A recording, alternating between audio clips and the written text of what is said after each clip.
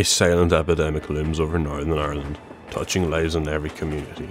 Addiction and substance abuse is an issue we have been neglecting for too long. Lives destroyed, families torn apart. Between 2001 and 2021, there have been a staggering 2,279 drug related deaths in Northern Ireland. Alcohol being the most widely consumed and available has led to 350 deaths in 2021 alone. There are over four times the amount of drug related deaths in deprived areas, Using the NISRA map of deprived areas, we can see there is a correlation. Belfast accounts for 35.2% of deaths, whilst Derry and Strabane accounts for 11.7. In economically deprived areas, there simply isn't the resources that are needed to help the people who are suffering through addiction.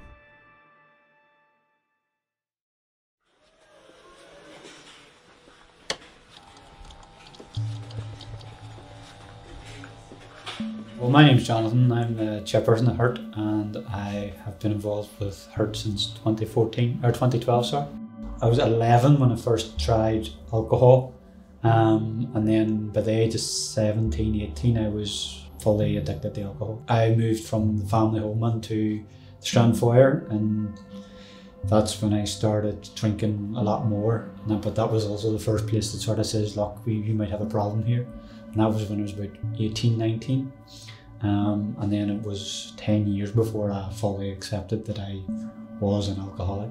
I started coming into Hurt in 2008 as a client. I was struggling with alcohol from a young age. And then in 2012, City sort of says, look, you might need a, a purpose, help you out. So as a youth worker at that time, she sort of, we had a youth foreman here. And so I was, came on board with that. And that sort of freed my week up from addiction. So I had a purpose. So I wasn't drinking every day of the week. It was more, you know, focused at the weekend when I had nothing on. So that sort of helped me a bit to get sort of on the straight and narrow a bit more. A lot of people see you were saying, "Oh, sure, you didn't drink that much." You know, it didn't. You know, you can have one, you can do this, you can do that, um, which I find strange because like as somebody in recovery, you, you, would expect people to be supportive rather than, oh, sure, you can have one. Sure, wasn't that much of a problem. Um, but my experience, if it starts affecting your life, whether it's family, personal life, just your day to day, and you have cravings for it, doesn't matter.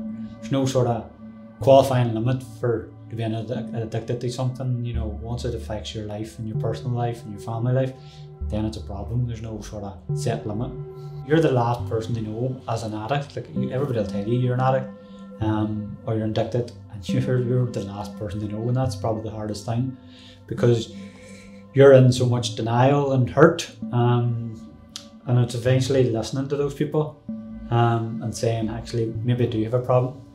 Like for me, it was when I, the breakdown of a, a relationship with my with an ex girlfriend that I realized I had a problem with alcohol. And when I told other people, most of them were like, yep, we've been telling this for years. Um, so I would suggest if you ask somebody that you trust, do you think I have a problem?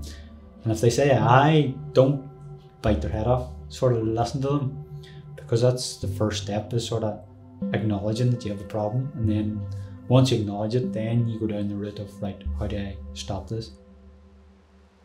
The way we look at addiction has to change. The current approach of imprisoning addicts is a doomed to fail strategy. Behind each statistic lies a story of loss, of dreams shattered, and families torn apart. Addiction can take many forms, from gambling, alcohol, drugs, and much more.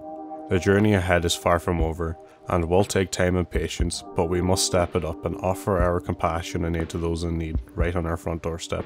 You can get involved yourself, whether it's by supporting a local organisation, advocating for policy change, or simply talking to a family member or loved one if you or they are struggling with addiction.